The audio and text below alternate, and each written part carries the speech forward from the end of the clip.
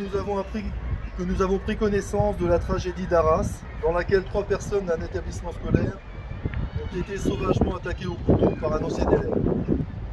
Dominique Bernard est malheureusement décédé et les deux autres victimes sont toujours hospitalisées. Nous sommes sous le choc de cet acte atroce, c'est la raison pour laquelle nous sommes rassemblés ce midi pour apporter tout notre soutien aux victimes, à leurs familles et leurs proches, ainsi qu'à l'ensemble des personnels et des élèves, mais aussi de toute la communauté éducative.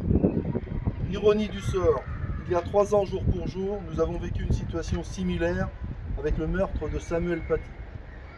Je vous demande donc de bien vouloir observer une minute de silence.